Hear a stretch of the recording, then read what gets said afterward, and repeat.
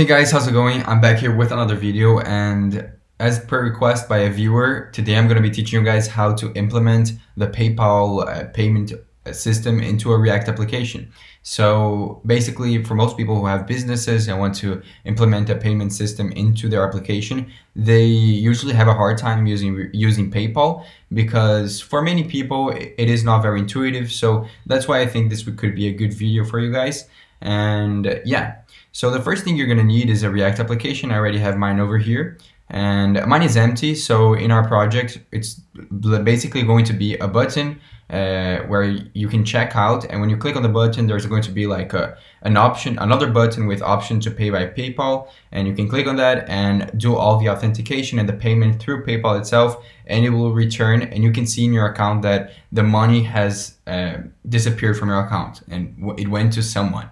So in order to do this, the first thing you need to do is go to um, go to the the, send, the developer.paypal.com uh, website and you need to create an account. So basically you can just ignore this. I'm going to delete all these accounts and also the uh, my apps and credentials, uh, which I'm going to create in this video. But I really wanted to show it to you guys so that you guys can basically have a clear idea and uh, I'm going to delete all of them. So don't use the same as me. So the first thing you need to do is go to the accounts and you need to create an account. Okay, so I'm going to click on create account and we're gonna choose business account. You can choose like the country. I'm gonna choose Canada because it's basically where I live. So I'm gonna choose Canada and make sure that you're choosing business because you're only able to sell stuff through the API if you're if you have a business account and you're only able to buy it if you have a personal account. So we're gonna create two accounts. We're gonna use two accounts, one personal and one business. The reason why is because we're gonna use the personal one to buy the stuff and for your information, you already arrive, like when you create an account into in the developer.paypal thing, it already comes with two default account, accounts, one personal and one business. You use the default one, the default personal one to log in and make the payment in your website and use the business one to register your website. So, so if you want to log in into your fake account just to test and this is what we're going to be doing in this video. You need to go to the sandbox.paypal.com and you can log in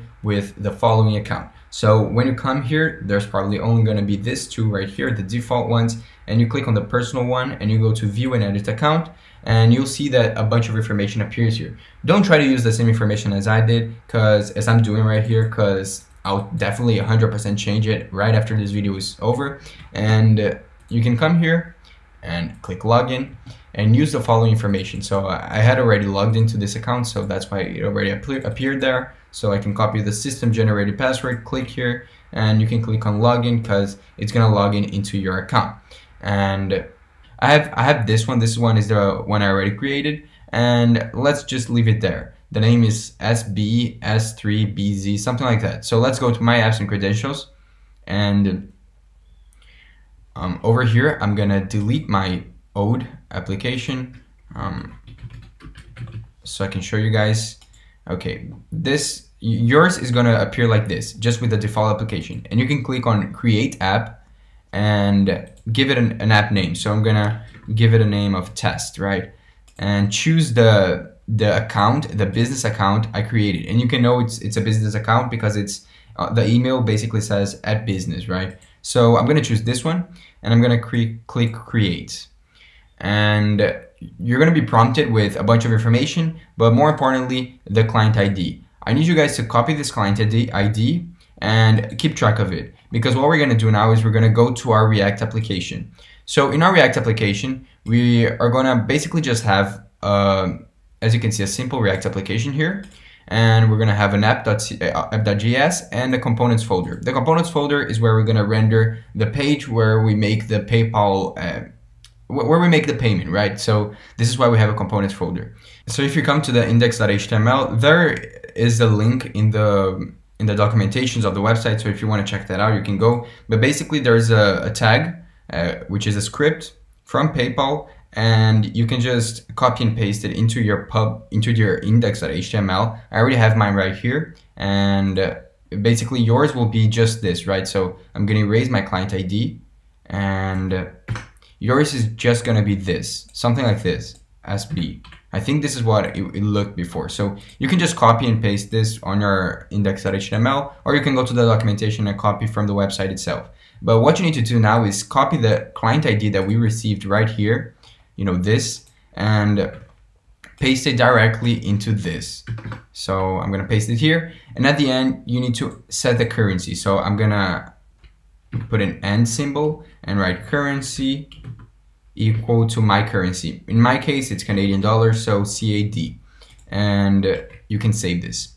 Okay, so we can close the index.html and you can come to your app.js file, right? So what we need to do here is we need to create a, a button, which is going to represent the checkout. So um, button checkout and I'm gonna create a state. So the state is basically going to represent if you're going to a checkout or not. So const checkout um, set checkout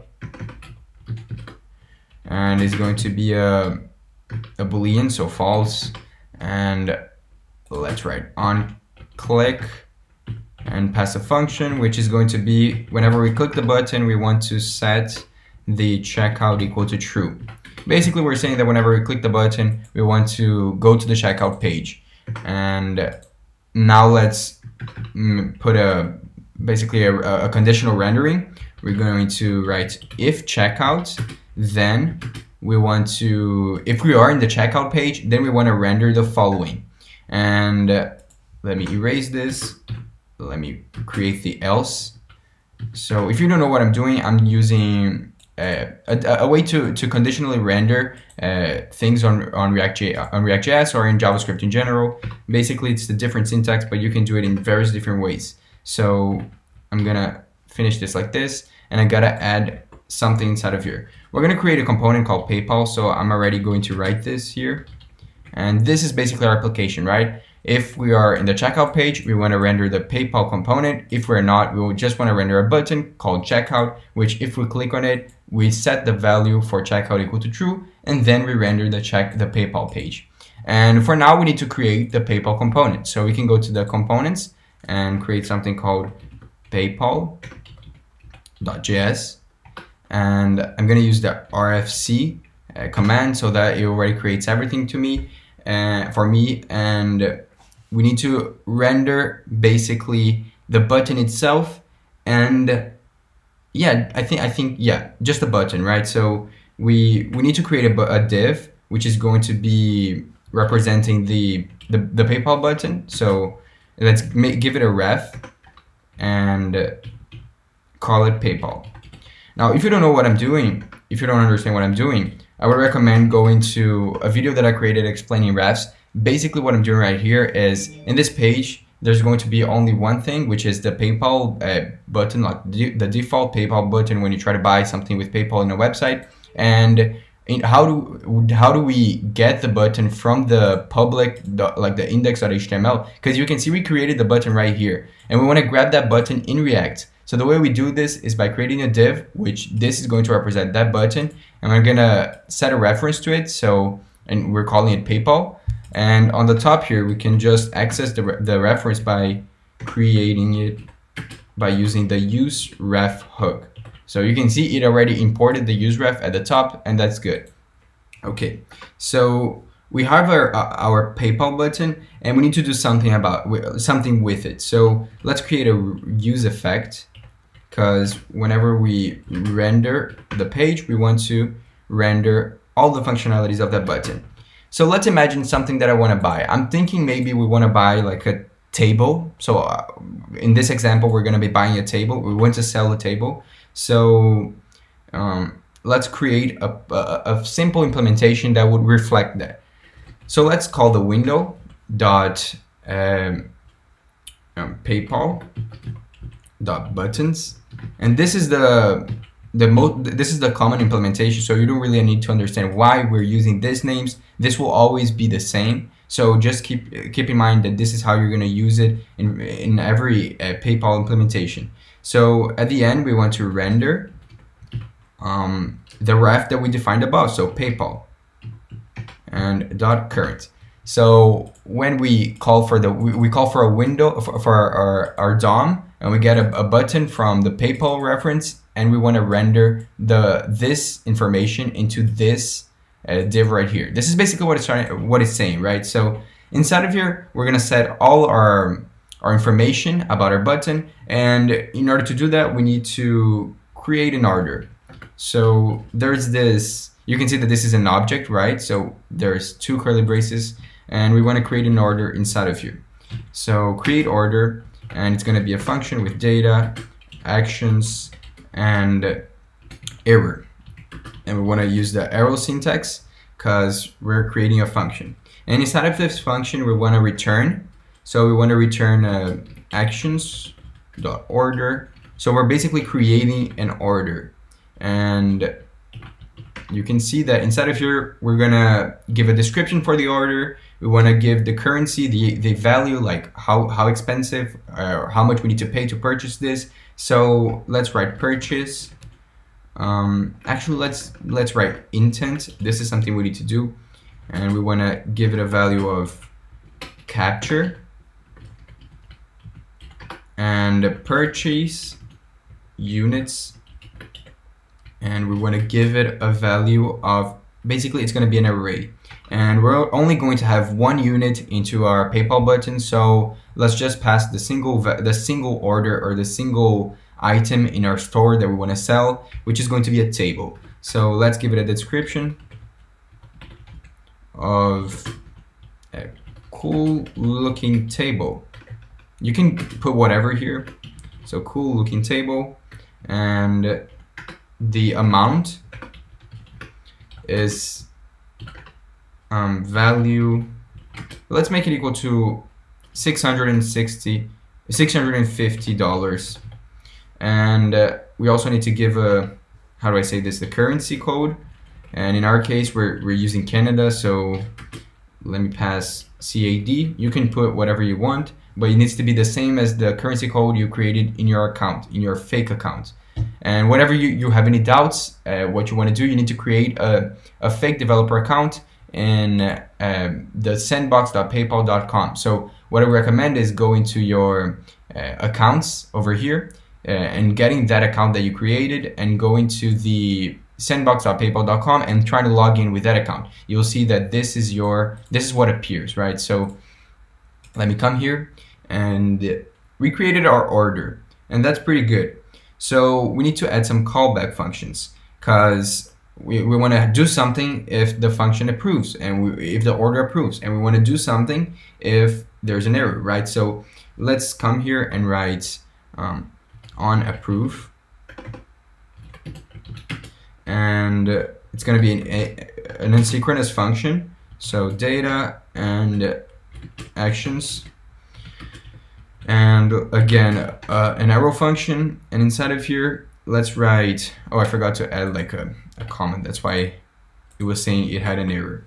And inside of the unapproved the only thing I need to do is I'm thinking of like console logging the, the order. So order equal to await and I want to grab the the order so order the capture. And maybe let's console log. Why did it create a parentheses, I don't know, but we want to console log successful order. Successful order. And maybe add the order to this. So, um, order. I think this should work, right? Um, no, let me just console log the order itself because it might be an object. So, okay, now we want to check what happens if there's an error. So on error, we're going to pass another function with the the following syntax. So we're grabbing the error and we're basically going to console log the error. Really simple. So we have the PayPal button, we created an order, we returned um, an order for a table, it's valued 650 Canadian dollars. I need to put a zero here. And when it approves, it's gonna follow this function. If there's an error, it's gonna follow this function. So it looks to be working. Um, the only thing we need to do left is try. So let's go to this and obviously there's something wrong. The reason is because I didn't import the PayPal into this. So um, let me import PayPal from, let me see, PayPal from, um, let me see, no, just one dot and components and PayPal. Okay, you can see there's a checkout button. Whenever I click it, now the PayPal uh, basic implementation appears. We can pay with this. We can use the debit card, the credit card, or the PayPal itself. So let's click on PayPal. And uh, since we created everything with our business account, as you can see, we, we have the different accounts, right? This is what I was talking about. I want to grab the information of the personal account because we're going to log in with that personal account. Let me click to continue. And okay, in this case, I'm already logged into this account. Let me uh, let me, I don't know if I, if I can just, yeah, log out and I want to show it to you guys. So I can come here to my sample sandbox account and I can go to the personal one and click on view and edit account. And as you can see, we can grab the following information, the email ID and let me copy and paste this. It's already here. So, and the password. So let me copy this and paste it here. So this is just for like practice. This is just for showing you guys. So uh, you guys would see what's happening. Uh, this is a test. As you can see, it's the sandbox. So no purchase is going to be made. Don't worry about that. This is just for you to test. So if you click on login, um, it's going to log into my personal account and I can basically complete the purchase. So I can even put information about where I want to ship the, the product and let me see.